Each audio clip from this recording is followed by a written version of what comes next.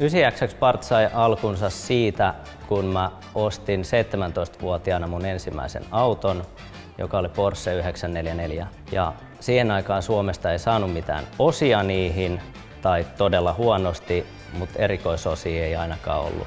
Niin mä aloin tilata ulkomailta osia omaan autoon ja järjestin sitten vähän kimppatilauksia harrastajille ja sitten se päätyi siihen, että alettiin maahan tuomaan ja myymään niitä osia ja se on kasvanut nyt sitten isommaksi oma valmistetuotteisiin asti.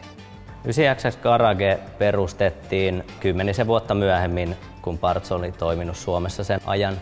Siinä oli muutama perustaja, ketkä halus lähteä korjaa erikoisautoja, etenkin Porscheja. Kaikilla oli Porsche harrasta tausta ja perustettiin sitten samoihin tiloihin varaosamyynti eli 9XX Parts ja sitten korjaamo 9XX Garage.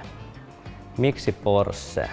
Kun hain ensimmäistä autoa, niin, niin perus Bemarin sijaan, mitä olin katellut, niin katsoin samassa hintaluokassa erikoisautoja ja löysin Porschelta sitten budjettiin sopivan ja muuten ominaisuuksiltaan hyvän 944 mallin ja sitä kautta lähtenyt harrastaminen näiden kanssa. Oma valmisteosien valmistaminen lähti siitä, kun omaa autoa piti tietysti parannella ja siihen aloin valmistaa siis laakeroitui puslia ja muita tällaisia osia, mille oli sitten kilpapuolella ja harrastajapuolella kysyntää ja jotain osia tietysti ei ollut saatavana. Ja nykyään se meidän repertuari on erikoisosia ja jotain sellaisia, mitä Porselta ei saa. Et on jotain laakerointipaketteja, mitä ei Porselta enää saa, niin me ollaan tehty siihen korjaussarjoja ja pääasiallisesti ulkomaille myydään nämä erikoisosat. Meidän osien suunnittelu- ja valmistusprosessi menee niin, että nähdään selkeä tarve jollekin tuotteelle, jossa on joku kestävyysongelma tai jotain muuta.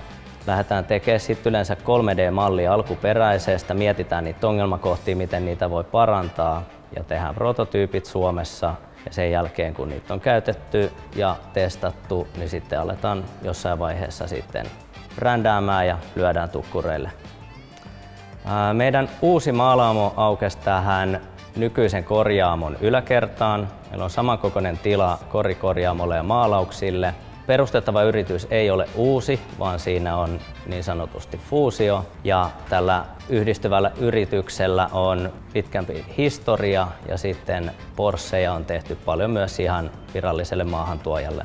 Henkilökunta on tullut meille aina suositusten ja hyvin usein kaveripiirien välityksellä. Yksi henkilö tuli sitä kautta, että asiakas sanoi, että hänen tuttu mekaanikkonsa nuori pätevä kaveri, jolla on intohimo autoihin, oli tehnyt moottoriremontin ja valmisti itse kaikki ajoitustyökalut ja selvitti Porschen ohjeesta kaikki tekniset datat. Ja tota, tämän kuultua niin laitoin viestiä, että tervetuloa työhaastatteluun. Meidän asiakkaita on hyvin laajasti kaikki Porsche-harrastajat ja ketkä päivittäisessä ajossa Porschea käyttää. Huoltojen puolelta tehdään kaikille Porscheille töitä, oli ne harvinaisempia tai tavallisia päivittäisessä ajossa tai kilpakäytössä kuuluu meidän valikoimaan. Tyytyväinen asiakas tuo auton meille aina takaisin ja Puskan radion paras markkinointi ja sitä kautta saadaan paljon asiakkuuksia, kun on hyvää palautetta liikkeellä meidän toiminnasta. Porsche-yhteisö on mun mielestä tosi hieno Suomessa. Siinä on mukava olla itse mukana. Me ollaan järjestetty tapahtumia Porsche-harrastajille. Harrastajakunta on niin pieni ja tiivis, että siellä on paljon yleensä kontakteja muilla. Niin me ollaan järjestetty tapahtumia kesäsi yleensä kuukausittain, missä me soi musiikkia, katsotaan autoja, ihmiset kokoontuu, 80-100 autoa tulee usein tänne pihaan. Ja meillä on tota, niin, hiiligrillissä tehdään hampurilaiset, kundit tekee, kundit tekee siinä tota, käsin odottaessa kaikki hamparit, juomat, niin tämä on meillä tällainen tapa olla mukana siinä Porsche-harrastajakunnassa.